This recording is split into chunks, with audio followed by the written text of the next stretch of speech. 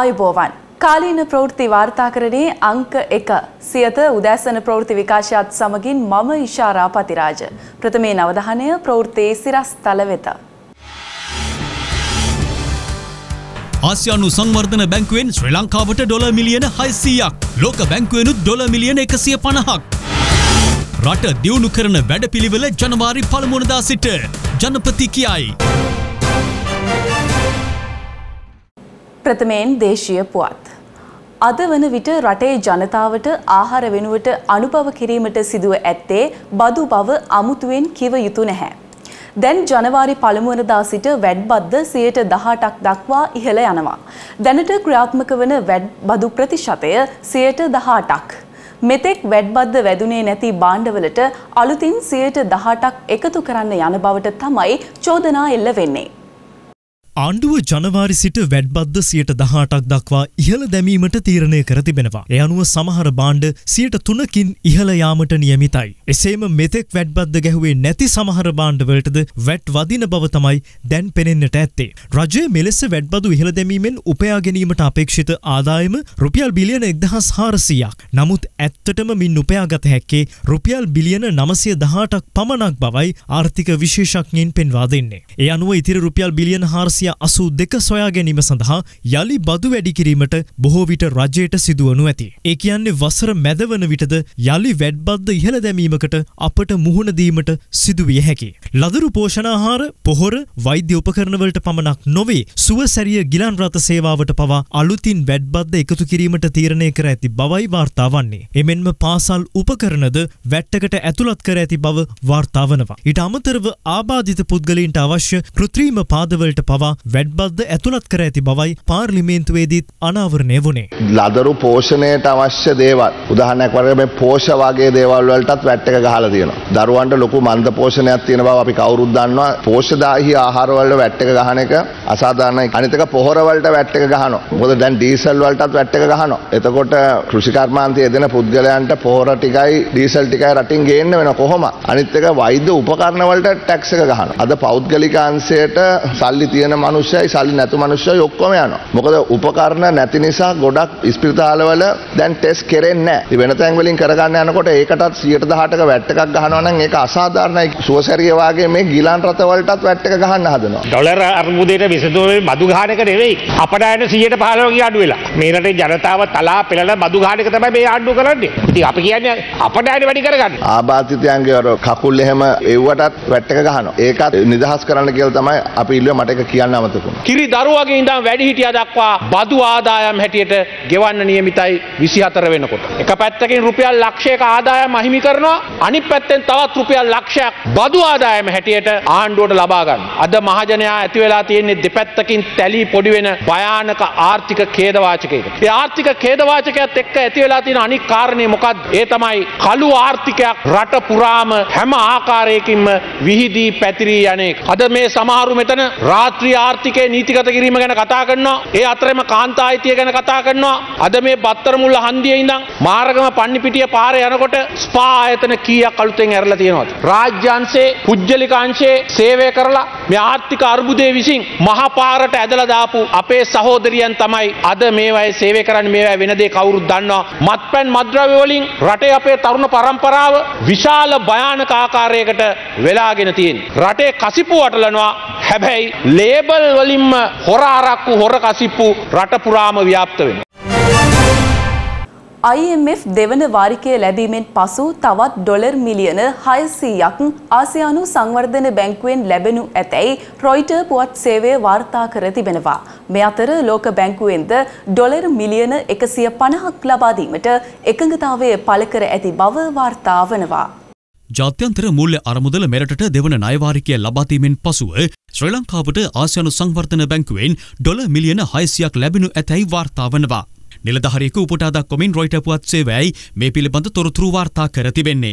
ශ්‍රී ලංකාව දශක කිහිපයක දරුණුතම මූල්‍ය අර්බුදෙන් පීඩා විදින අතර ඒ හේතුවෙන් මෙරට ආර්ථිකය දෙදහස් විසි දෙකේදී සියට හතයි දශම අටකින් හැකිලී ඇති බවයි එහි වැඩිදුරටත් දැක්වෙන්නේ. ජාත්‍යන්තර මූල්‍ය අර්මුදලේ වැඩසටහන්ට අනුගතවීමෙන් පසුව දිවයිනේ ආර්ථිකය ක්‍රමයෙන් ස්ථාවරවමින් පවතින බවද එහි සඳහන්. ඩොල මිලියන තුන්සිය තිස් හතරක දෙවන නයවාරිකය නිකුත් කිරීමෙන් පසුවයි ආසියානු සංවර්ධන බැංකුවෙන් අදාළ මුදල ලැබීමට නියමිතව ඇත්තේ. වාරික වශයෙන් මෙම මුදල් නිකුත් කරන බවද එම වාර්තාවේ සඳහන් වනවා. මේ අතර ශ්‍ර ලංකාවට ඇමරිකාන් ඩොල මිලියන එකසිය පණහක නයමුදලක් ලබාදීමට ලෝක බැංකුවද එකඟතාවය පල කර තිබෙනවා. මූල්්‍යංශය ආරක්ෂණ ජාලය ශක්තිමත් කිරීමේ ව්‍යාපෘතිය ක්‍රියාත්මක කිරීම පිණිස ශ්‍රී ලංකා තැම්පත් රක්ෂණ යෝජනා ක්‍රමය ප්‍රාග්ධනීය කරණය සහ මහා බැංකුවේ ආයතන ධාරිතා සංවර්ධනය සහ එම ව්‍යාපෘතිය ක්‍රියාත්ම කිරීම අධීක්ෂණය යන සංරච්චකයන් යටතේ ඇමරිකාන් ඩොල මිලියන එකසිය පනාක නායාර මුදල් සැපීමට ලෝක බැංකුව එකඟතාවය පල කර තිබෙනවා. මේ අතර නෙළුම් පකුණ පරිශ්‍රය විනෝද ක්‍රීඩා ඇතුළු ආයෝජන අවස්ථා වෙනුවෙන් ඉදිරියේදී වෙන්වන ආකාරය පිළිබඳවද අද මාධ්‍යහමුවකදී අදහස් පල වුණා. ලබන සෙනසුරාදට මේ නෙළුම් කුළුණ පරිශ්‍රයේ ප්‍රධානම අංගයක් වෙන කැරගෙන අවන්හල විවෘත කිරීම සිද්ධ වෙනවා. මේ ව්‍යාපෘතිය සුදු අලියෙක් කියලා තිබුණු ප්‍රචාරය පැහැදිලි කිරීමේදී ඔබතුමාලා දැක්කා මෙතුමල්ලා බාරගත්ත විදිහ අද කරගෙන ඇවිල්ලා තියෙන දේ. රජය තීන්දු කරලා තියෙන්නේ රජය ප්‍රතිපත්ති සම්පාදකය හැටියට ඉන්නවා. එවගේම පහසුකම් සපයන්න හැටියට ඉන්නවා ප්‍රතිපත්තිමය වශයෙන්. ඉන් ඉදිරියට ගෙන යාම ආර්ථික පෞද්ගලිකාංශය සම්බන්ධ කරගෙන සිදු කරනවා. එතකොට මේ ප්‍රතිහෝගත කරන ක්‍රියාවලිය ලෝටස්ට අවයගේ ක්‍රියාකාරීත්වය තුළම සාධාරණීකරණයක් වෙලා තියෙනවා. ඔබ දන්නවා රාජ්‍ය ව්‍යාපාර බොහෝමයක් මහා බණ්ඩාගාරය විසින් ලබා දෙන මුදල් මත තමයි යැපුණේ. හැබැයි ඒ ක්‍රමවේදය අපි අද වෙනස් කරලා තියෙනවා. EPF අරමුදලට රජය මැදිහත්වීමට ජනගහනයෙන් සියට හැත්තෑ හතක් අකමැති බව සමික්ෂණයකින් හෙළිවී ඇතැයි වෙරිට රෙසර්ච් ආයතනය ඊයේ නිකුත් කළ වාර්තාවක් සම්බන්ධයෙන් මුදල් රාජ්‍යමාත්‍යවරයා අද අදහස් පල කළා. මේ සමීක්ෂණ වාර්තාව එකක් තමයි අපි දන්නේ නෑ මොකක්ද මේක නියදිය කියන එක. ඊළඟට අපි දන්නේ නෑ මොනවාද මේ සමීක්ෂණය සඳහා කොයි කණ්ඩායම්ද භාජනය කරේ. මේ වගේ සමීක්ෂණ ආයතන විසින් මෙවැනි ඍණාත්මක සමීක්ෂණ පමණක් නිකුත් කිරීම සාධාරණ වෙන්නේ නෑ. මං හිතනවා ඒ සමීක්ෂණය කිරීමේදී ඒ අහන ප්‍රශ්නය වැදගත් වෙනවා. එහින්ද ඍජුව කැමතිද අකමැතිද කියන කාරණයට වඩා එහා පසුබිම මොකක්ද කියන එකත් එක්ක තමයි අහන්න වෙන්නේ හැබැයි මං හිතන්නේ නෑ ඒගොල්ලන් අහන්න ඇති කියලා. රට දියුණුව කරා ගෙන යන නව ආර්ථික වැඩපිළිවෙල ලබන ජනවාරි පළමුවනදා ආරම්භ කරන බව ජනාධිපති රනිල් වික්‍රමසිංහ පවසනවා. නව ආර්ථික ප්‍රතිසංස්කරණ සමග ඉදිරියට යනවා හැර වෙනත් විකල්පයක් නැති බවයි ජනාධිපතිවරයා පෙන්වා දෙන්නේ. රජයේ තක්සේරු දෙපාර්තමේන්තුවේ සියවස් සැමරුමට එක් වෙමනුයි ඔහු මේ බව ප්‍රකාශ කළේ.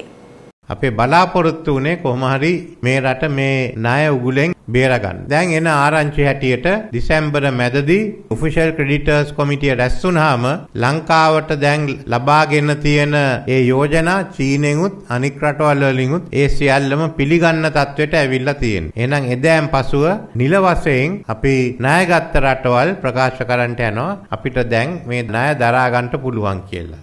එතනින් ඒක ඉවර වෙන්නේ නැහැ. ඊට පස්සේ අපිට තියෙනවා පුද්ගලික නායකරුවන් සමග සාකච්ඡා කරන්න. මම බලාපොරොත්තු වෙන්නේ මේකටත් වැඩි කල්යන්ට ඉස්සෙල්ලා එන අවුරුද්දෙම අපිට විසඳන්න පුළුවන් වෙයි කියලා. එහෙනම් අපි බංකොලොත් භාවයෙන් මිදෙනවා. මම හිතන්නේ මාස 18කින් මේක කරලා තියෙන ශීඝ්‍රම වැඩසටහන. අපේ වාසනාව තියෙන්නේ අපි මේ තැනට ශීඝ්‍රයෙන් පැමිණීමක. ඒ පිළිබඳව මේ රජයේ ආයතන වලටත් මේ රටේ මහ ජනතාවටත් මම විශේෂයෙන්ම ස්තුති කරන්න කැමතියි. ඒත් මෙතනින් අපිට ඉදිරියට යන්න තියෙනවා. පරණ ක්‍රමවේදය අරගෙන ඉදිරියට යන්න බෑ. අපි ඉදිරියට යනවා නම් අපිට අලුත් ආර්ථිකයක් ඕන. එන අවුරුද්දේ ඉඳන් මේ අලුත් ආර්ථිකය ගැන අපි ක්‍රියා කරන්නට යනවා. එන අවුරුද්ද කියන්නේ ජනවාරි පළවෙනිදා ඉඳන්. මුළු රට තුළම නවීකරණයක් සිදු වෙන්න වෙයි. ඒත් ඒක හැර අපිට වෙන විකල්පයක් නැහැ. ආපහු මේ තත්ත්වයට යන්න බෑ. මෙහෙම දුක් විඳින්න බෑ. ඔබ සීළු දෙනාම දුක් විඳා. අදත් අමාරුකම් තියෙනවා. ඒත් මේක අපි හරියට කරොත් තමන්ගේ දරුවන්ට හොඳ අනාගතයක් තියෙනවා. වර්තමානයේ පවතින දඩමුදල් ප්‍රමාණවත් නැති බැවින් එය සංශෝධනය කිරීමට කැබිනට් අනුමැතිය හිමිව තිබෙනවා. මේ අතර විදුලි බිල සහ ජල බිල වැඩි කිරීමේ සූදානම පිළිබඳව මාධ්‍යවේදීන් අද ප්‍රශ්න කළා. ඒ කැබිනට් මාධ්‍ය හමුවකදී.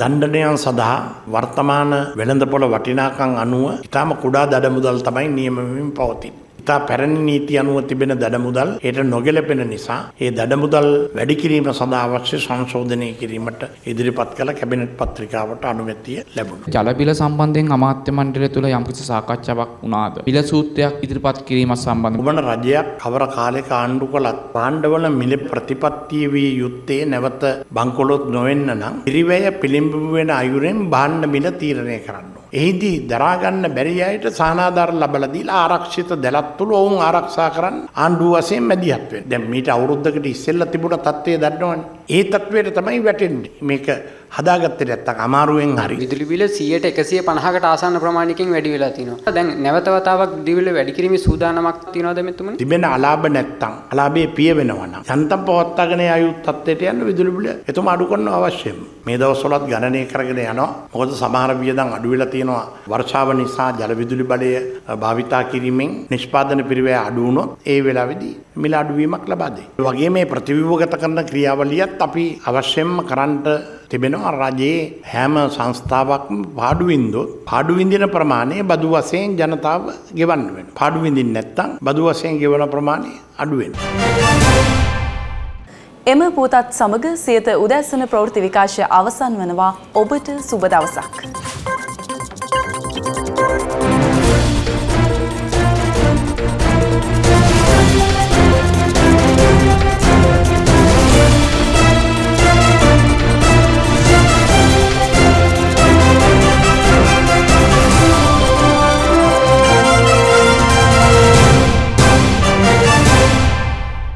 රටේ ලෝකෙ සිදුවන උණුසුම් පුවත් දැනගන්න සියත නිවස් YouTube චැනල් එක අදම සබස්ක්‍රයිබ් කරන්න.